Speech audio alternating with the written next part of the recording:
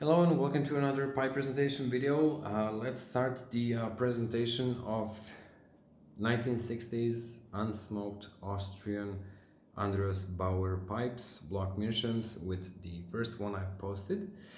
It came in the black box which says block Meerschaum and it's just this lovely, lovely straight apple shape.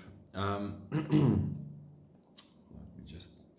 inside, a bit of dirt you see right there.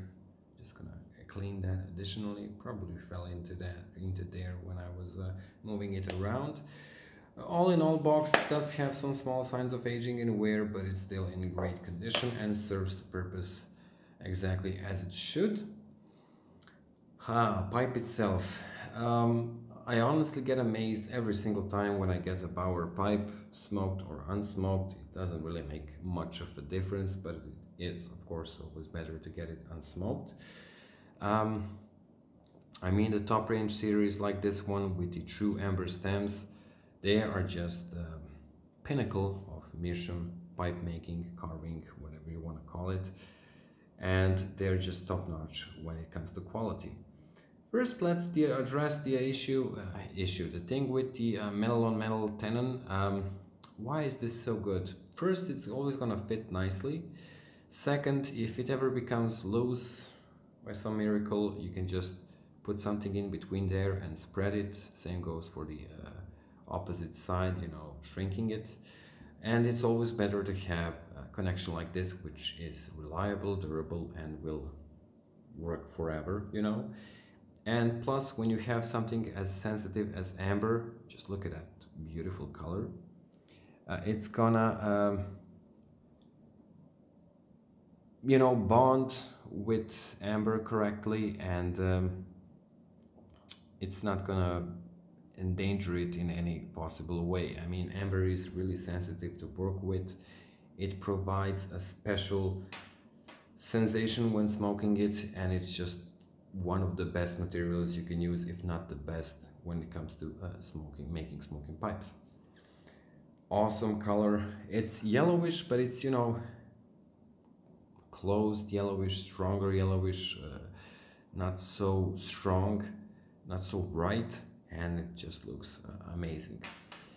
Uh, the um, I was trying to uh, remember word or figure a word that would say, you know, the, the finished production, the, the, the finish itself with these blocks, uh, the way they uh, finish off edges and flat surfaces is just so good. I mean, when you compare this one, for example, to the um, one with the plastic stem, difference between Meerschaums is just so, especially when you compare it with a Turkish pipe, difference with between Meerschaums is huge. I don't know which process they use to uh, get uh, dense, fine quality Meerschaums like this. I mean the finished blocks but it definitely shows a difference and uh, it feels like a perfect egg if I can say it like that there's a small dot right there as you can see which was probably uh, which occurred in production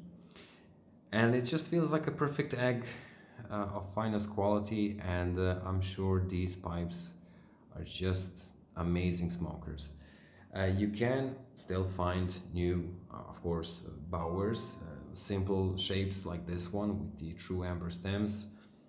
They are a bit expensive. When I say a bit expensive, you can say four, five hundred dollars for something like this. I figured I'm gonna go cheaper. I might as well could have said, you know, 500 for this one instead of three and the others, but I wanted to keep it realistic and um, make a fair price if I can say it like that. It's definitely worth more. Uh, just when you hold it and especially when you smoke it you, you will understand why these pipes are just um, top of the notch fantastic block Meerschaums. Let's place it back in the box. I was bragging it a lot so um, it took a while but trust me it's worth every penny. Uh, that would be all for this short presentation. Thank you all for watching and I'll see you in the next one.